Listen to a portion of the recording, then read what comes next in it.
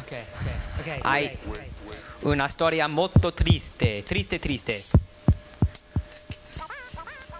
Our teacher thought it was narcolepsy, so she bought you a Diet Pepsi. She thought you were pathetic, wanted you kinetic like Wayne Gretzky on a jet ski, but you downed it, let out a great big Grepke, and went straight back to sleep. Is it the late hours that you keep? By the time you were a sophomore, the teachers began to scoff more. You would fall asleep in school. All you achieved was drool and face imprints on your forearm. You know, you did yourself much more harm than to me or to your teachers. Graduation, you're in the bleachers. Now, graduating was no deterrent. Now you're in the bleachers, you wish you weren't. And look, that was just the way you messed up your high school years. A few years later, it was even worse. Let me tell you about it.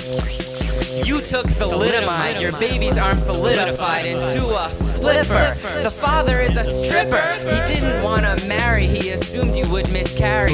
His name was Harry. What else? And another thing that's scary, he sports a bulge of sorts. Men pass him five to Larry, and he pulls down his red shorts. And the patrons they stop talking, cause they're barfing on his cock ring. That's some boyfriend that you got. Now you have a crippled tot.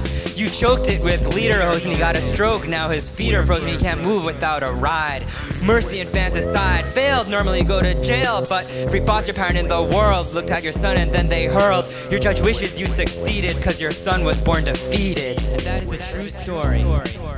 Well, reflective of a true story anyway. This beautiful girl, her name was Fifth grade, she used to draw horses. Now she's a dominatrix and she shaved off her eyebrows. I just don't understand.